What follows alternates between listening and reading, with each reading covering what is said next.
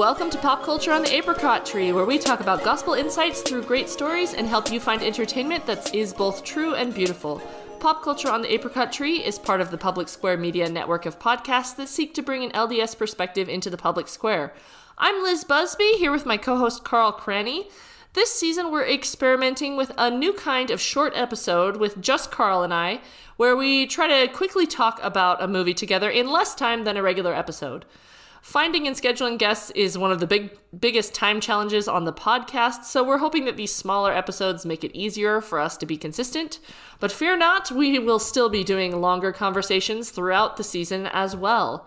Carl, can you tell people what we are going to be talking about today? In this short episode, we're going to be covering The Mission, a 2023 documentary about John Chau, an evangelical Christian who feels called to evangelize the North Sentinelese people one of the last uncontacted tribes on Earth.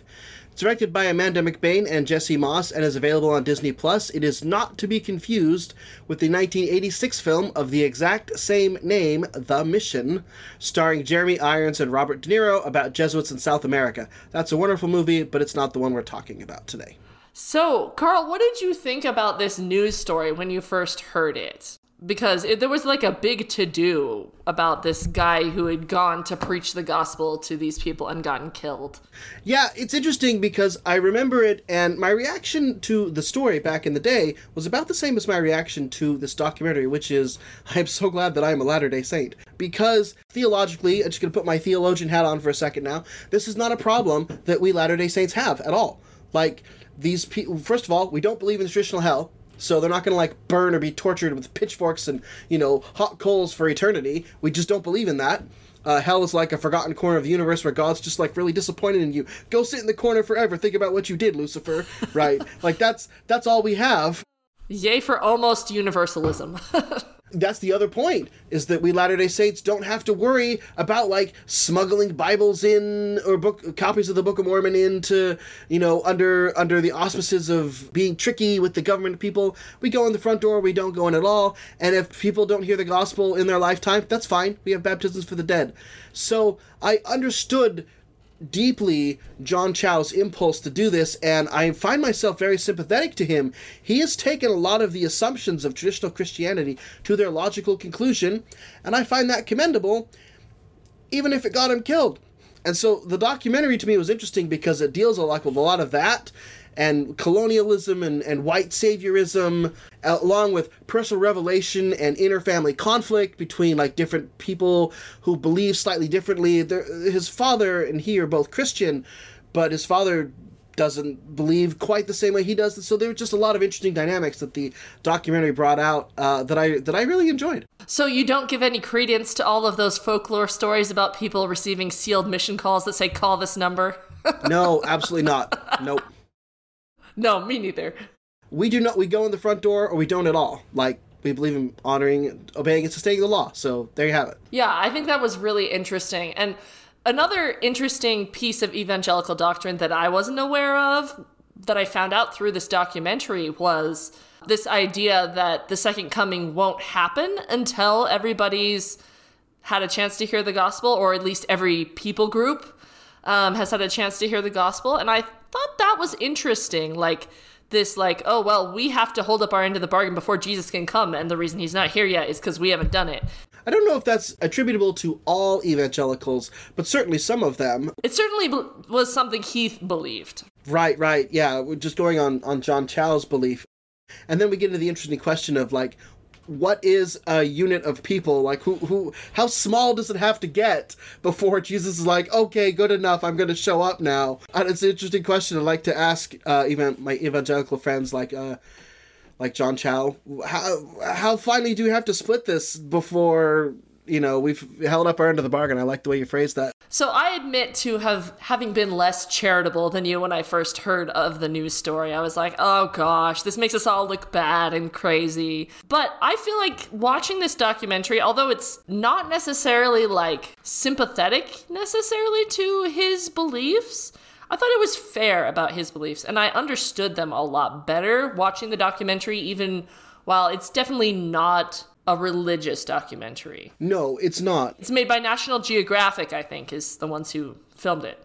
Yeah, which is why it's on Disney Plus because National Geographic stuff is on Disney Plus. And it's interesting because it takes pot shots at National Geographic and the way they treat indigenous people and the the way they sort of glamorize them or or treated, hopefully. And and so that was interesting to to see National Geographic maybe doing a little bit of self-reflection by having this be part of their uh, their movie library. Yeah, it was really interesting to see the way that like things had been done in the past that now came to be used in a way that they probably wouldn't be comfortable with now. That that was how John Chau was doing all his research was from these old documentaries from organizations like National Geographic who had gone in and taken these pictures and tried to figure out anything about these people. It's uh, such an interesting question to, to see them wrestling with sort of their legacy as well. I thought it had great production values, though. Of course, John Chau isn't around because he he died because the North Sentinelese people uh, killed him, and they did get a long and detailed letter from his father. But they just had actors read both like John Chau's journals and Facebook posts, and then the letter from his father, which was heartbreaking to sort of see the division of the two of them uh, slowly over time growing further and further apart, and his father feeling like he failed a little bit. I feel like there's a lot to learn here from this documentary about interpersonal religious conflict or interfamily religious conflict. What do you do when you have a child who maybe is still a member of the church but is a little more liberal than you or, or maybe is a little more conservative than you? Like how do you navigate these treacherous waters of doing interfaith work within your own family even within the same tradition, broadly speaking. I don't know. What did you think about some of that the stuff, the inner dynamics between the, the son and the father? Yeah, I loved the animation that they put with the reading of the diary and the letter. I thought that it was a really interesting effect. But yeah, you could tell that the dad felt really bad that he had just. It seemed like they had just chosen to agree to disagree and not discuss those subjects rather than have this kind of continual back and forth dialogue about it. So that was interesting. It's really hard to figure out how to deal with these issues with family members where you want to continue to maintain a good relationship, but you're also worried about how these beliefs are going to affect their life and their maybe their salvation or survival in this case. Choosing when to intervene on stuff, when to pull your parent card. I'm gradually adjusting as my kids are becoming teenagers to this idea that you have to pull back and let them make their own decisions sometimes. And I imagine that becomes even more of the case when they're an adult. Well, obviously, like once they turn 18 in America, there's nothing you can do. If he wants to go to the North Sentinelese people, you have to either kidnap him or let him go. Like those are your two options at that point. But you still have an obligation as a parent to try to teach them, but you have to go about it in a different way. Um, and so finding ways to have those open conversations, ugh, it's tough and important in as we see. Another thing that I think Latter day Saints could draw from this, even though we are obviously in the broad umbrella of Christianity, but just the interplay between like institutional faith and revelation and programs and individual revelation and calling. Discernment isn't a word we Latter day Saints use, but lots of other Christians do. John's trying to discern whether this is a true calling or not. And man, after they like shoot the arrow through his Bible the first time, and then he goes back three days later and gets killed, part of me is like, uh, I think at that point you should have figured out that maybe this was more you than the spirit, because they talk about that wrestle a little bit. But he uh never I don't know. I mean, we just only have his his journal and and and Facebook posts and recollections. But it seems to me he didn't quite wrestle with that as much as he should have. But who am I to interfere with somebody's personal revelation or comment on it? I don't know. But it's an interesting thing that we all have to, you know, navigate ourselves as well. Is that is that me? Is is that God speaking? Is that Satan? Is it a combination of all three? How do you suss that out? Well, good luck. Yeah, I really liked the comments from the pastor when they were talking about that specific moment where he said, "Did Jesus tell John, "Hey, you you've done enough, like you should pull back," and he didn't listen? Or did he say, "Hey, you need to make this sacrifice and it's going to be okay?" I don't know. And I really like that admission that like sometimes bad things happen to people who are trying to do something good and maybe we don't know whether it was because they didn't listen to a prompting or if this was a thing that needed to happen and maybe it will have consequences in the future. Which is why, of all the people they interviewed, the one I found most interesting was Daniel Everett, who's a linguist who had studied with uh, a different group of people in the Amazon jungle and tried to evangelize them and then ended up losing his faith over it. And so you like you talk about how it can have consequences. Consequences can cut a number of different ways and in the case of Dr. Everett and he ended up losing his faith, so he still goes and hangs out with this uh, particular tribe, but he's no longer he no longer considers himself an evangelical Christian. Or I got the impression he's just like atheist now. I don't think a believer at all. Yeah, I think he's just an atheist now. So I, I found him the most compelling of almost all the people they interviewed. He's such a fully rounded character. So it seems weird to call a real person a character. This is a documentary. There's so many facets to a story that I thought uh, we could dig into.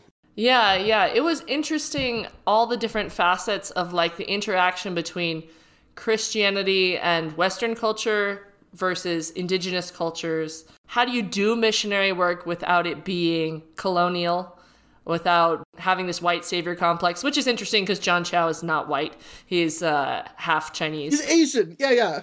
Whenever I mentioned this to people, they're like, oh, yeah. When I heard that story, I was like, white savior complex. And I was like, but he's not white. So is it a white savior complex? Maybe, maybe. Western savior complex, I guess, because he was raised in America. It was interesting that John Chau himself had thought about that and he was like, "Oh, I don't want I specifically don't want to be imperialistic about this or colonial. I want them to find their own way to worship God," which is an interesting aspect of e- evangelical missionary work that we we wouldn't really buy. We're like, you can't just start your own church. We've we've got structure here, but you could do that from an evangelical perspective. Like, start a church that fits with your own culture and your ways of doing things. That's not necessarily ours. Right, absolutely 100%. But the thing that was so funny is, and I don't know if they were drawings of his or if it's just the documentarians who produced this, but when he talks about they'll find their own way to worship Jesus, and I'm like, yeah, but the picture you're showing me on the screen right now is like a thatched Protestant church with a cross on top. Like, you're still imposing some of your views on these people, at least architecturally. And so that was interesting. I mean, that's, I think, one of the major differences between us and evangelicals is, and, and, and I think this is something you can attribute to most evangelicals it's just the the more simple idea of once you have prayed some version of the sinner's prayer and given yourself to jesus that's fine. The rest of this is good and important but not strictly speaking necessary for salvation. So they have a lot more wiggle room and we have a lot less Uh, well, yeah, a lot less wiggle room, and and we have a lot more because it's it's baptism by immersion under proper authority, and then we have the rest of the covenant path to follow, whether that's uh, you know priesthood ordination for men, and then endowment, and of course sealing if you want to go to the highest degree of the celestial kingdom. There's a lot more going on in uh, Church of Jesus Christ of Latter Day Saints than there is in evangelical Christianity writ large and so those are interesting and instructive differences to see how their theology informs their missionary work and ours informs our missionary work. But it does remind me of how like as the church becomes more of a global church we're trying to be more conscious of which parts of church programs and stuff are just utah culture and which parts are the gospel. And like what parts do we mandate all over the world and what how much do we do local adaptation while still maintaining fidelity to the things that we think are important, like the priesthood and revelation and all these different ordinances that are important to us? Which is why I agree with the church's decision, like six or seven years ago, whatever it was, to get out of scouting like, I think that's the right choice for the worldwide church, but my boys are going to be at Scouts because that was really good for me, and I liked that, and I'm I'm missing that structure already to see some of the negative side effects of the narrowing down of what is necessary and sufficient to be the Church of Jesus Christ of Latter-day Saints as we become a more international church. Well, let's do some lightning round ratings unless you had anything else. Uh, nope. I just I think it's interesting to see uh, this whole evangelical culture around uh, around evangelizing, right? It's literally in the name of their branch of Christianity. Uh, like the movie that John watched over and over and over again, The End of the Spear, about those missionaries who went and tried to teach that other tribe of people, then got killed. But then the wife and the sister of two of those dead missionaries went and did end up converting the tribe later on. This is a culture and a, a veneration of martyrs and things like that that we just don't have in the church as much. Kind of have a little bit of holy envy for it, but at the same time, I see the negative side effects in this very documentary, and so maybe I don't have holy envy for it. I don't know. It's interesting to see how much we push you know, I hope they call me on a mission. We push missionary work very hard as well, but not in the same way and don't valorize it in the same ways. Uh, and I find that interesting. Speaking of scouting, it was really interesting to see how his choice to go to this really isolated group was also influenced by his love of like the outdoors and survivalism and living off the land kind of culture. So that was an interesting aspect to this story that I had no idea about from the news accounts of it that I saw. Right. It was an interesting Venn diagram how he was kind of like an outdoorsy influencer on Instagram for a little while. Like, okay, that's interesting. Mission prep, sure, why not? Yeah, and kind of the argument between the different people of like, was he really an influencer? Was he doing this so people would think he had a was like a shallow white savior complex? So if it went wrong, like how much 3D chess is John Chau playing? Yeah, yeah, yeah. How much plausible deniability is he giving other people? So yeah, that's interesting. It's a great documentary. Yeah. Okay. Well, we'll move on to some lightning round ratings. For content, where would you put this, Carl? Oh, Celestial, it's fine. Like, you could watch this with anybody. Maybe a little heavy for younger kids, just because this is about a guy who goes to this island and then gets killed by the natives. There's nothing uh, objectionable in it other than maybe some uh, gravitas just because of the nature of the subject matter. There are, like, there is nudity in an indigenous people context. Oh, that's true. I guess I should mention that. But like when I watched The Gods Must Be Crazy as like an eight-year-old, I that was not titillating to me. Like even I, as an eight-year-old kid, understood like it's not the same thing as Victoria's Secret. Oh, I'm I'm not I'm not saying it's a problem. I'm just saying like people should know going in, and also um, I know that a couple of my kids who walked through were a little bit disturbed when it was you know the mission, and they're like, wait a minute thing like connecting it to our culture's mission. So I would avoid showing it to kids who are like can't distinguish between the two and now thinking that they're gonna have to go to some remote island uh, where no one speaks a language and get killed for their mission. Yeah, fair enough. But I you, you can navigate that with your kids. Celestial with caveats. sure, sure, sure, sure. Um, artistic merit, one to five popcorn balls. I think this was a really well produced documentary. I enjoyed it the whole time. There were a little bit of a few sections that were maybe repetitive, but not a ton.